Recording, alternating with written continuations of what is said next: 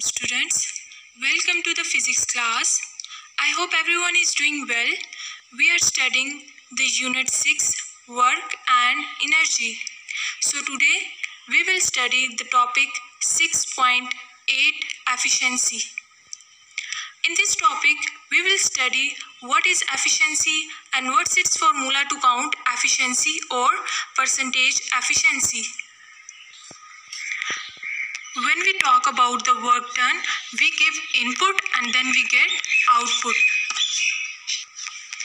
And when we talk about the efficiency, we say that how well work is performing. Now I'm reading the definition given in the book that is efficiency of a system is the ratio of required form of energy obtained from a system as output to the total energy given to it as input. Here in the definition we have two things. Energy obtained that is output and total energy and we are taking it as input